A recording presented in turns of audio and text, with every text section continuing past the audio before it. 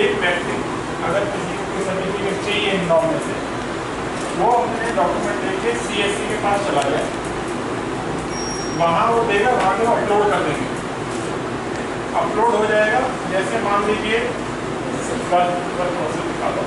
हाँ। ये हमारा ऑफिशियल पोर्टल है, जो हमारे एडमिनिस्ट्रेशन का। तरह का फॉर्मेट रहेगा सीएससी के पास।